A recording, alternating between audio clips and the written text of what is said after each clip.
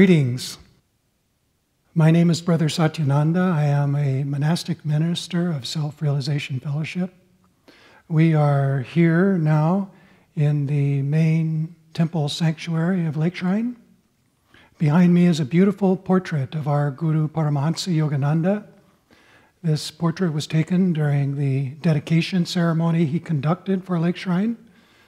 He is sitting in the chair that is placed just to his side on the dais.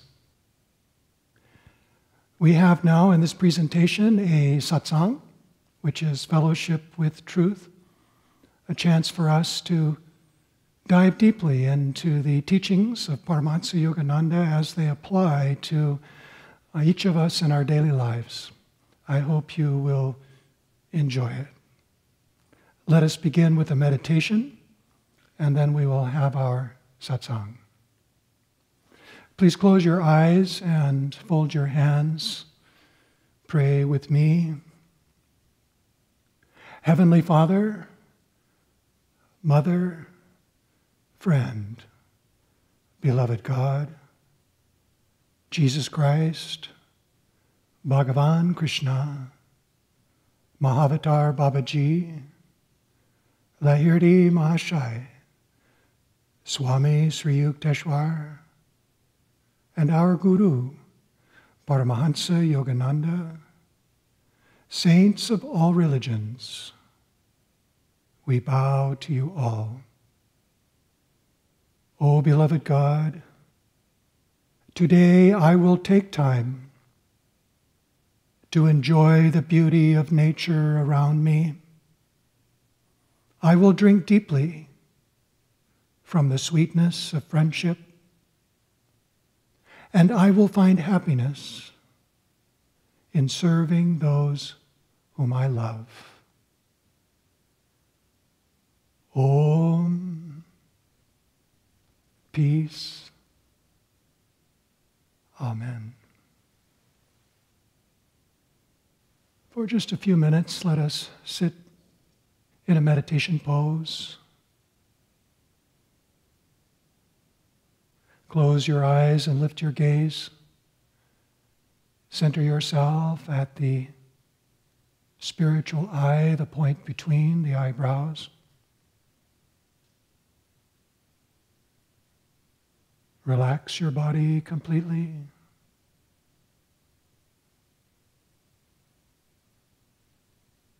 Draw a slow, gentle, inhaling breath.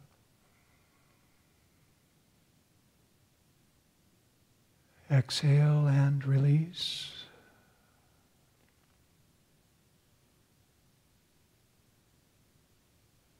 Now feel relaxed stillness throughout your body, heart, and mind.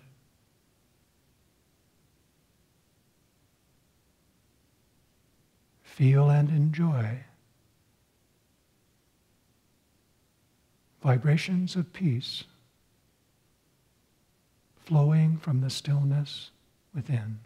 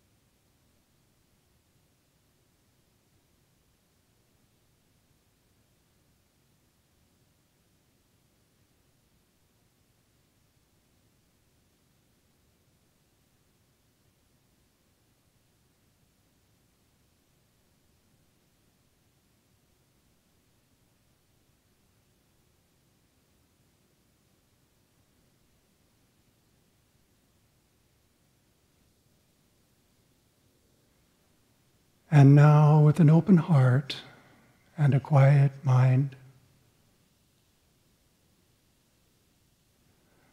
think of those whom you love in your life. Someone perhaps who is very close to you, even and especially someone who is close but you have not felt close recently. Hold them close to you now.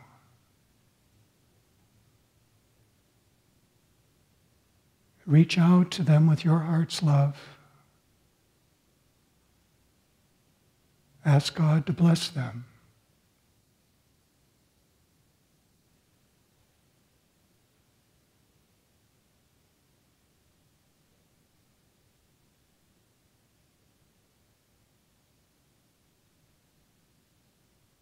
Feel that your love is touching their hearts.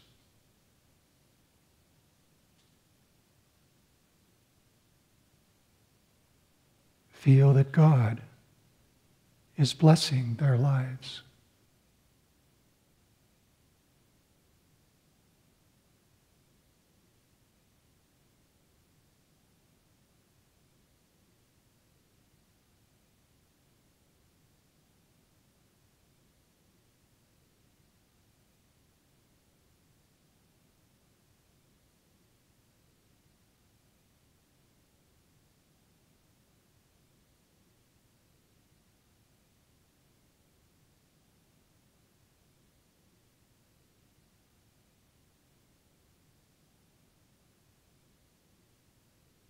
Let us now chant Om together over and over again. And as we feel the power of God's cosmic word, let us feel that we are sending out love to all of our families, all of our friends.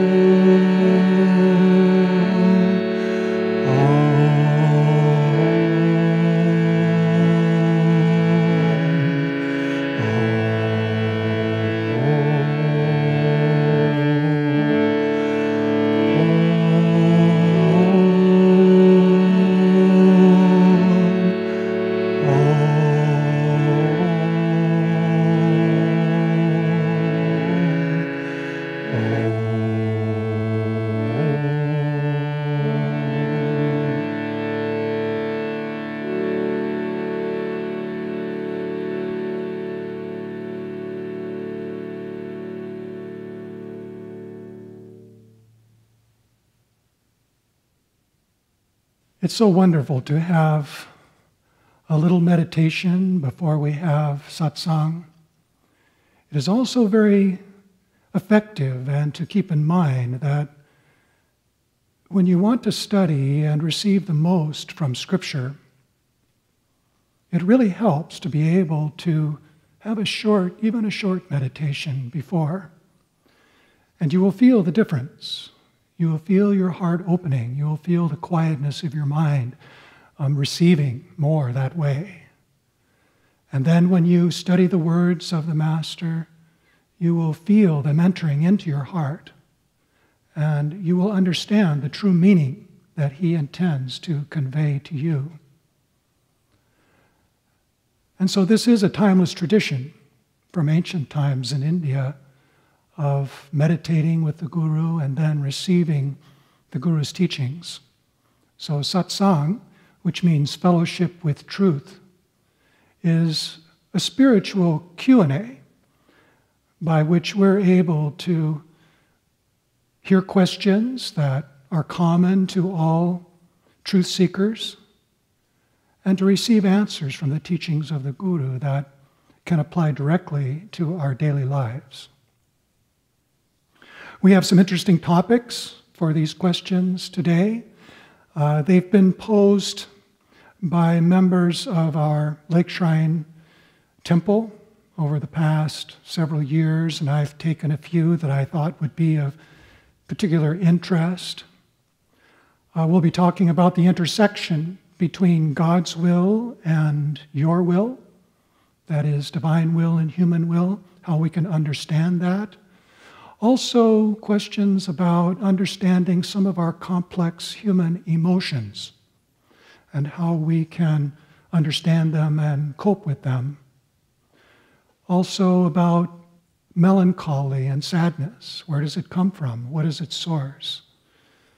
And also a little bit about fantasy and daydreaming. So you see, we're covering some very interesting aspects of our multifaceted state of consciousness. So let's start with a question about God's will, divine will. The question is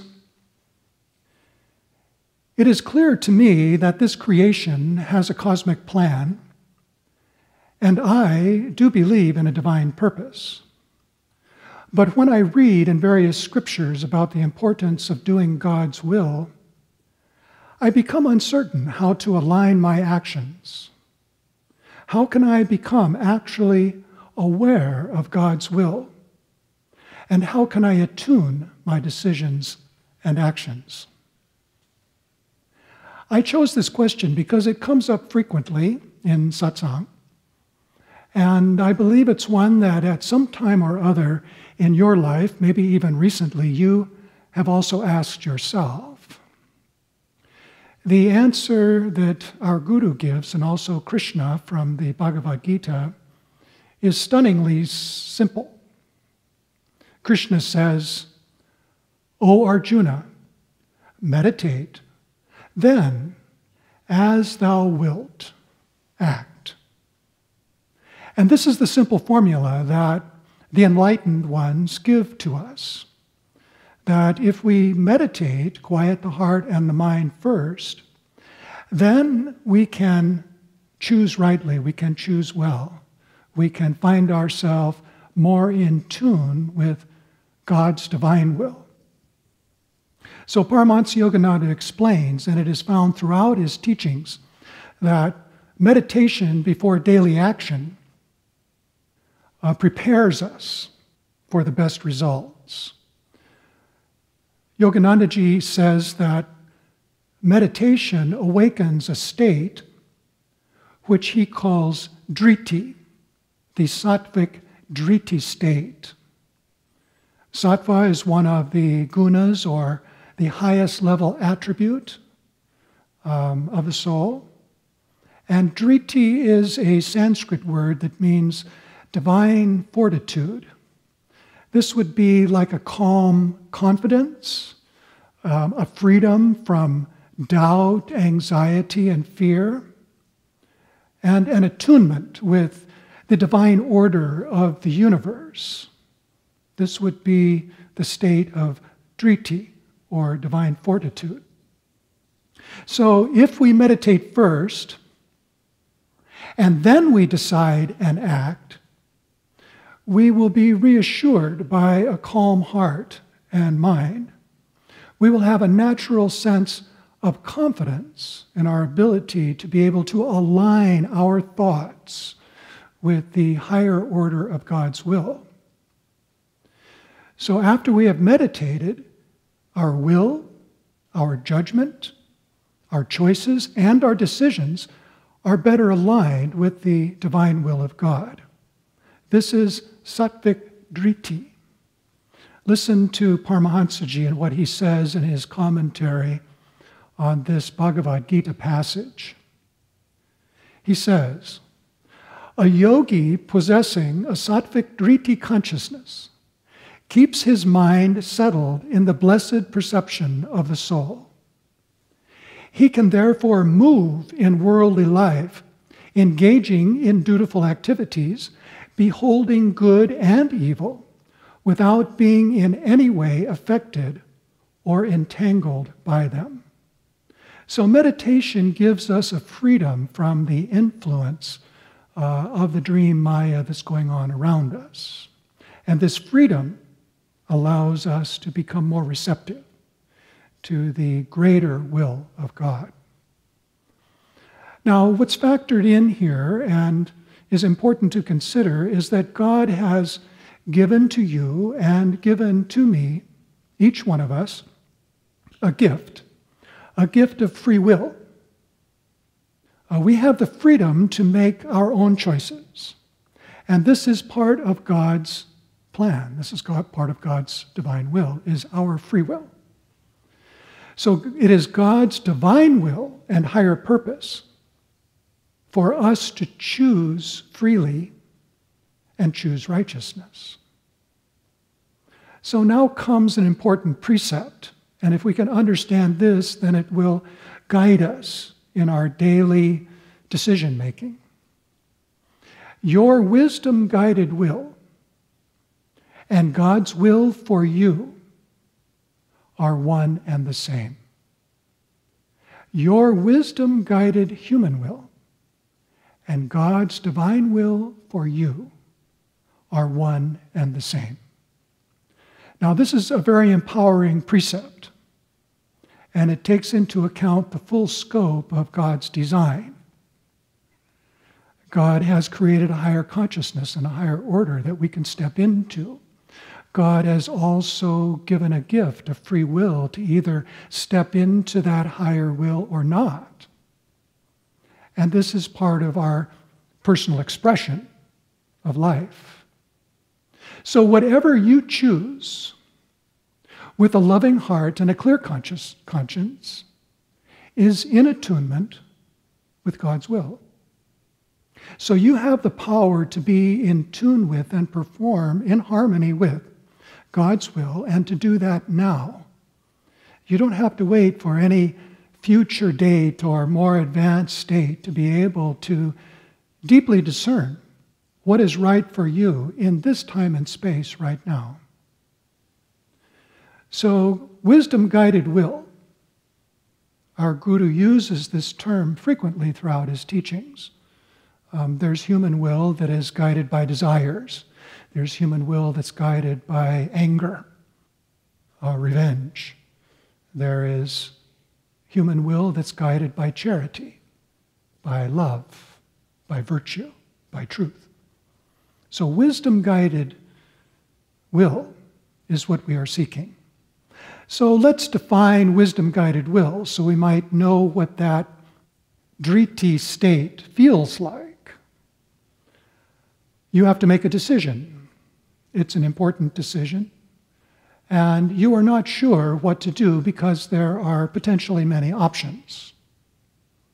The first thing that we would normally do is to gather information. And so this is a natural first step. We do our research, we do our homework, we gather information, and we kind of gather information until we feel we have enough to be able to give our uh, decision fair consideration. And then we evaluate the information that we have. We do it with thoughtfulness, we do it with care. We weigh the factors and what seems to be the most charitable, perhaps, what seems to be the most fair. And then we sit and meditate. We meditate to clear the consciousness. We meditate to clear the heart. Because we want to feel free from anxiety, from pressures. And we want to be in attunement with um, God's higher will. So we've gathered information, we've done a little evaluation, and we've meditated. And then comes a time for deciding and choosing while trying to retain this state of calm heart and mind with noble intention. And so, after you have meditated, you will feel the calmness. And that is when you can trust your thoughts, you can trust your feelings. And you use that opportunity then to make your choice. Now, we can always question our choices, we can always doubt uh, ourselves. But at a time when we are calm in this dhriti state, that is a time to trust ourselves. And that is important that you take the risk and you trust yourself. You make the selection that you feel is the best that you can choose right now, knowing what you know right now, conditions, whatever they are. And then you offer the results to God. So even before you engage in actions or implementing your decision, you offer the results and you say, Lord, I have, you know, prepared myself and I feel that I'm in as much attunement as I can be with your divine will.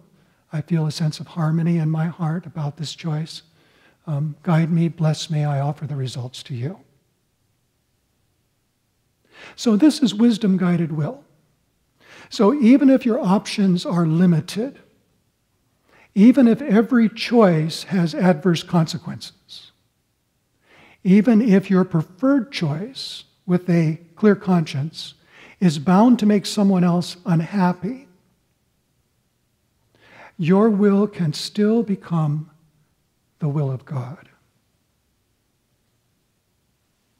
So, your noble intentions and your clear conscience are more important than perfection itself. You even ask yourself, what if I choose and don't get it right? Well, not to worry, because as we've all heard, God watches the heart. God watches the heart. And this actually is what makes for perfection. Because a more informed decision without love in the heart is less perfect than a loving decision with little information. So, your noble intentions are very important. And Paramahansaji even says that there's no perfection in this dual world of relativity. And so there's a learning curve built into the plan. As we practice this, we will become better and better, more adept. And actually, we become more confident. Confident in the process and confident in our ability to follow it and get good results. I've been following this for a long time, and you have my testimony that it works. Now, we will not only always see the results that we want right away, it takes some time for God to work. But we will see that when we apply these steps, that looking back, uh, the decision really was the best, not only for you, but often for everyone else concerned. So when you exercise your wisdom guided free will in this way, sincerely striving to perform well, even though seemingly imperfectly, you are doing God's will for you and you are infusing your environment with righteousness. So experiment with the process. That's all that I can say. Do your homework. Evaluate results with careful intention. Meditate and pray to clear your heart and mind. Then make your choices, make your selections. Knowing what I know now with the evidence that's available to me, with an open heart that has goodwill and fairness for all, with a calmness of heart and mind and a peace within me, I feel that this choice is the best one that I can make now. Lord, I offer these results to you. Please bless me, bless everyone involved, and then move into action. If you want to increase your skill in wisdom guided decision making, then go back and review later this is where I have learned so much for myself. I go back and I take a look and I say, I was a little uncertain about my direction on that decision. How did it actually work out? And I find when I follow these steps, it always works out. And I'm always happy that I made that choice, even though I wasn't certain at the time. So, this is the way you can train yourself to have confidence in the process and confidence in yourself. Another question.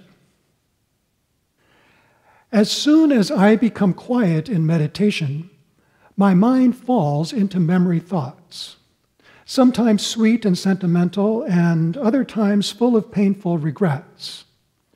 What can I do about this? Well, you are an emotional person, and you have some strong attachments to the past. But we have to keep in mind that all human emotion has one source, and that source is the soul's love for God. So even this passing sentimental emotion has its roots in divine love. And so, what you can do is try a little exercise. That is, try to feel the love behind the attachment. Because when the sentiment comes up, it might something that is meaningful to you. There is some kind of a strong personal emotion involved. Take that emotion and offer it to God. Say, Lord, you are the source of all my experiences. You are the source of all of my feelings. And the feelings that I have for these past memories are directly connected with my soul's love for you. Awaken in me, purify me, and awaken in me a greater love for you. In this way, we can leave experiences, especially painful ones, behind and carry forward um, the feeling of love for God. So when we offer our earthly sentiments on the altar of love for God, we accomplish actually two things. One is we purify our earthly attachments, and we also convert human sentiment into divine inspiration. And this actually is the purpose of this gift of feeling, of human feeling, is to gradually begin to purify it and lift it up so that it can become the love of God. Listen to Paramahansa Yogananda. He says, The love of God cannot be described, but it can be felt as the heart is purified and made constant. As the mind and the feeling are directed inward, you begin to feel His joy. The pleasures of the senses do not last, but the joy of God is everlasting. As the heart is purified and made constant. And so that is the action that we are taking. We are taking our natural human reactions, our sentiments, our attachments, and the feelings that belong to those attachments, and we are offering them to God. And you can offer them just as they come up. So something comes up, uh, make that connection with God. I'm feeling this loneliness because I'm missing someone who is no longer here on this earth. And you take that feeling of grief and then you offer it to God. And you will find that the connection itself will bring comfort, a soothing comfort that purifies the grief. And because your heart is open with feeling, memories, and sentiment, um, your heart is also open to the soul's love for God. And so then you will find yourself elevated, purified in that new state of being. So, this is satsang. I hope this is helpful. Uh, these are questions that come up. Uh, everyone is pondering oftentimes the same thing. We're all having shared experiences. And we can take a look together at the truth uh, behind these experiences through the teachings of the Satguru. And even more than that, we can uh, consider action items that we can take, strategies that we can apply to help move us along on the spiritual life. So, God has given us gifts, um, gifts in the form of um, human potential we have human experience. And the human experience is not the end of that gift, it is only the beginning. So we have human will that can be transmuted or elevated into divine will. We have human sentiment um, which can be elevated into divine inspiration. And so, as we lift up our human experience, we are expanding and realizing its full potential. We can have a much more powerful and elevated experience this way. This is what the spiritual life is all about. It's taking an ordinary human life and through our own efforts of purification, turning it into a divine experience. Here's another one I love to daydream, but I'm starting to realize how daydreaming distracts me from my spiritual goals. How can I stop this habit of daydreaming? So maybe you're a fantasy fanatic. Uh, you like fantasy dramas. You like to maybe dream about distant worlds or life that you've a life you've never lived but thought you could live. It's obviously a form of escape, isn't it? Um, you're searching for a better world to live in. Maybe you're even searching for better friends to be with. Idle fantasy can seem very inviting and attractive at first. But ultimately, fantasy, as you are discovering, is unproductive because it's not real. But don't stop daydreaming. Just change the script. Harness your imagination to your highest aspirations. Again, we are following this pattern of lifting human experience into divine experience. So we're not saying, no, don't fantasize. We're saying, choose your fantasies carefully, connect them with a higher reality, with a higher truth.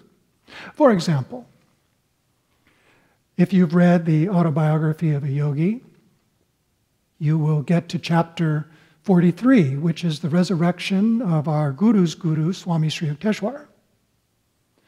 And that chapter is a favorite of many disciples because in that chapter, Sri Yukteswar shares with Paramahansa Yogananda. Yukteswar is in a resurrected form, coming back from uh, the astral realms.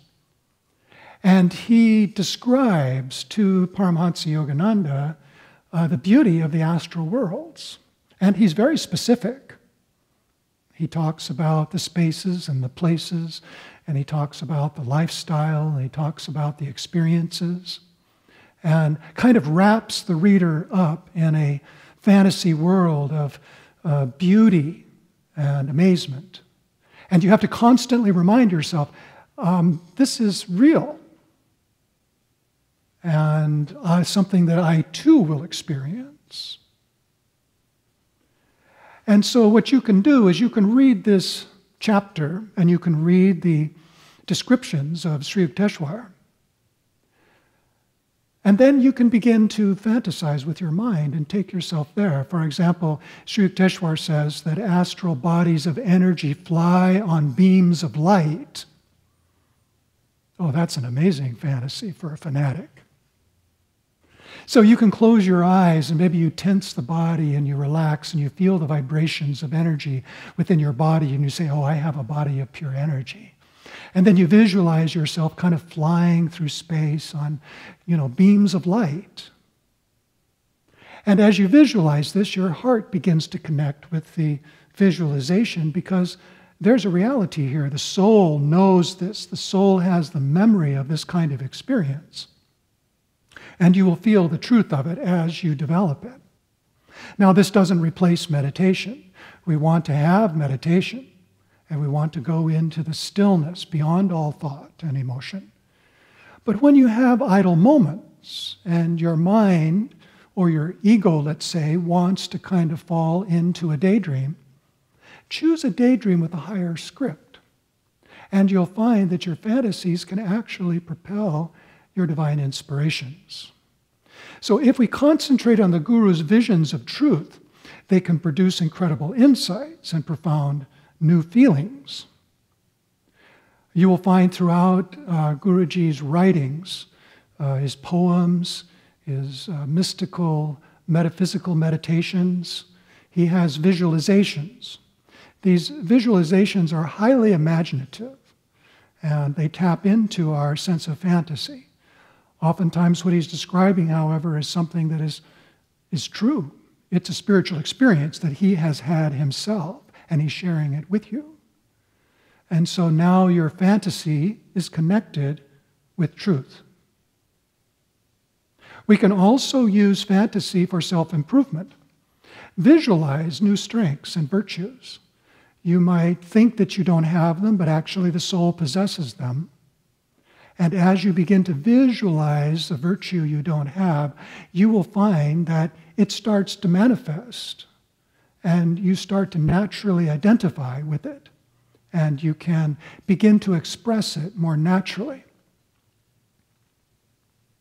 So, imagination harnessed to lofty goals will enhance spiritual progress and it's far more satisfying than idle fantasy. Paramahansaji says, Love yourself because you are a child of God with divine potentials. It is your love and concern for this potential self that inspires and inspirits unfoldment of your true soul nature. Isn't that beautiful? It's a very caring statement. He's saying, Love yourself because you are the soul and you're worthy of love. And you have a cosmic potential within you that can be awakened.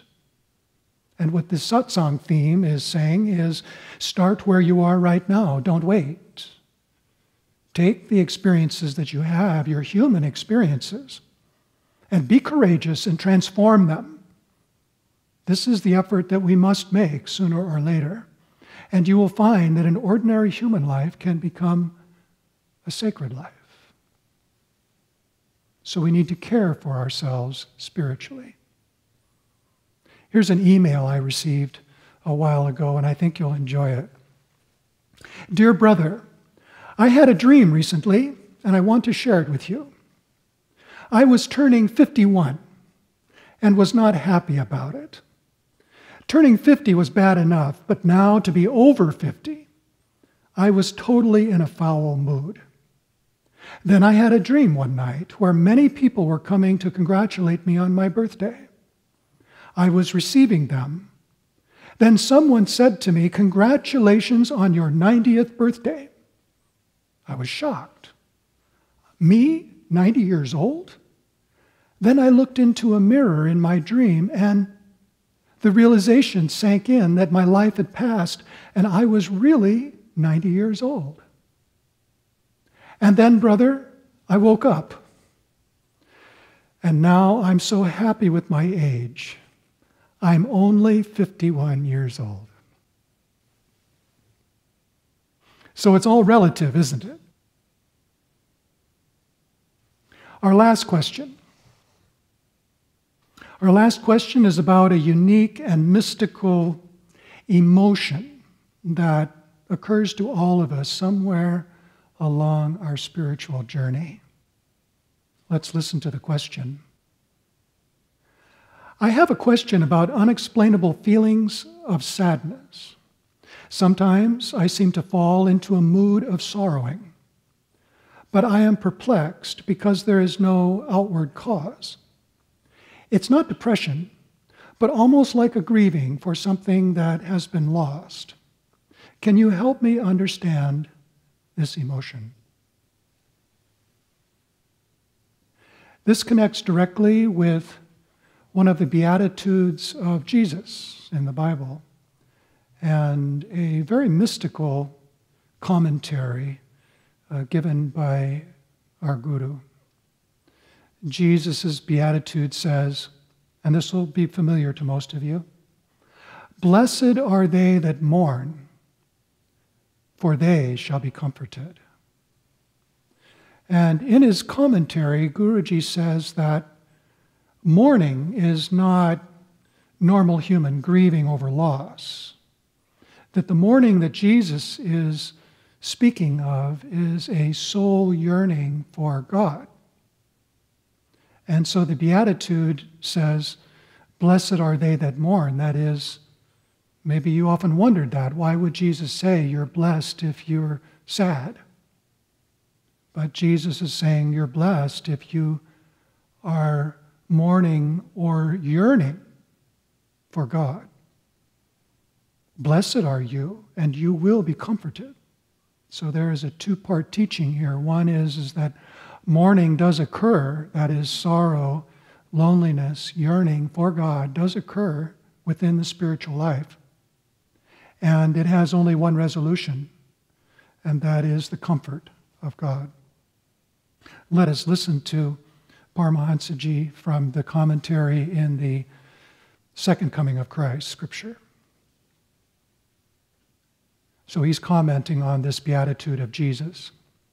The pangs of sorrow suffered by the ordinary person arise from mourning the loss of human love or material possessions or the non fulfillment of earthly hopes.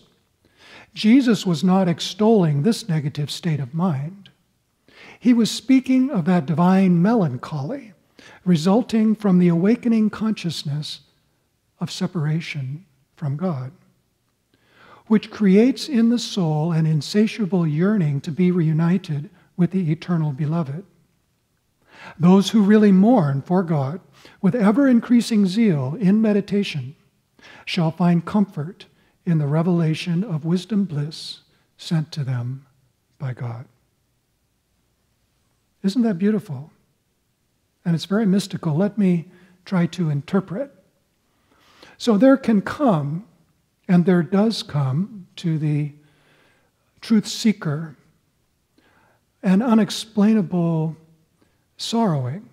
It occurs in a heart that is oriented spiritually toward God, and especially when we are striving to cultivate a personal relationship with God. And this sorrowing, as the commentary of our Guru says, is not a dark mood. It's not a selfish or self centered depression. It's also not related to any outer condition or event. It's not connected with any recent loss. Um, it, but it's a loneliness and a sadness that it seems like the world cannot satisfy. So there's something beyond this world that is causing it, and you can feel that. But still, it is mysterious. And our Guru solves the mystery by saying, when you have this kind of a feeling, this is the soul's secret yearning, secret longing for union with God. And it comes percolating up on its own, especially if we are meditating and we are meditating, we are clearing away our, transmuting our earthly sentiments. Uh, we are opening ourselves up to a higher dimension of cosmic feeling. And this divine sentiment is an aspect of cosmic feeling. It is also a prelude to fulfillment. But there's a spiritual test here, and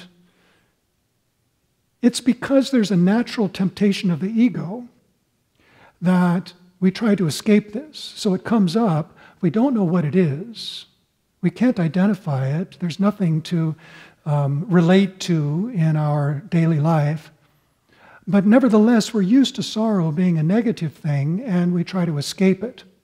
And so we escape it by seeking material diversions. And so perhaps if you have felt this, you have probably experienced yourself trying to run away from it. And it will recede temporarily. So you can hide from it for a while, but it will come back. Because again and again, this is the soul itself saying, I want more. I want something more. I'm yearning for a cosmic connection that I, you know, that I have and I want it to be fully expressed consciously.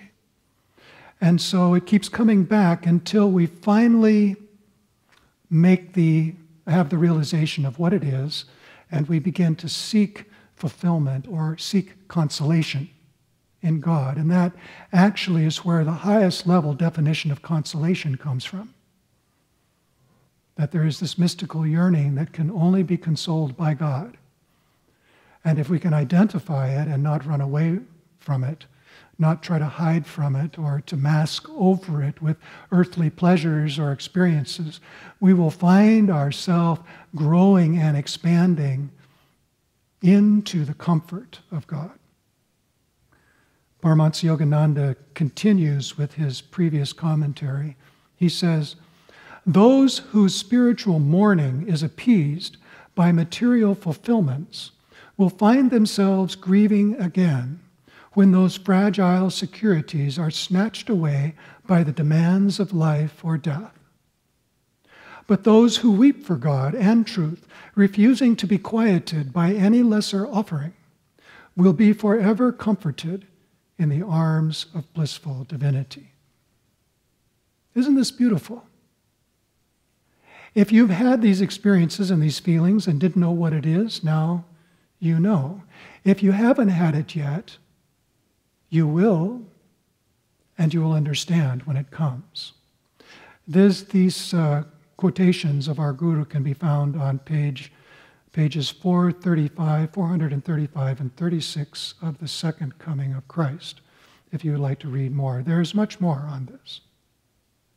So I hope you have enjoyed this satsang. I hope it has been meaningful for you. I hope it hits you on different levels of, you know, thought and emotion, sentiment, um, divine sorrowing fantasy and imagination, the use of willpower, and how we can attune our will with the will of God. Contemplate these things. And I believe that you will find, as I have, that as we take our human experience, our human emotions, our human thoughts and conceptual thinking and our imagination, these gifts that have been given to us as human beings by God, we can expand their potential into a divine experience. And this is the way that we make an ordinary human life a holy life.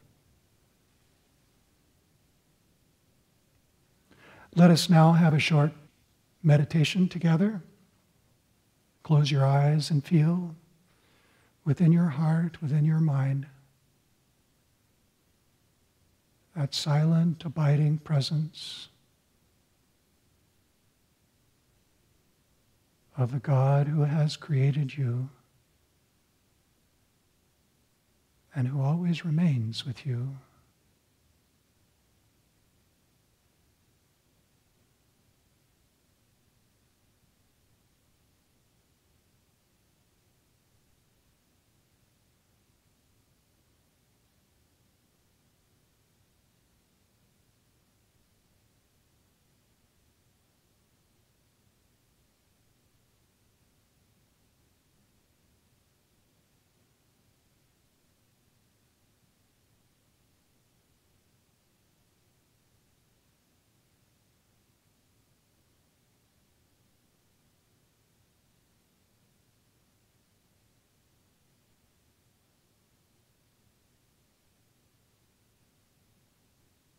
Let us fold our hands and pray together. Heavenly Father, Mother, friend, beloved God, Jesus Christ, Bhagavan Krishna, Mahavatar Babaji, Lahiri Mahashaya, Swami Sri Yukteswar, and you, our blessed Guru, Paramahansa Yogananda saints of all religions, we bow to you all. O oh, beloved God, I will take time today to enjoy the beauty of nature around me. I will drink deeply from the sweetness of friendship, and I will find happiness in serving those whom I love. Om, peace. Amen.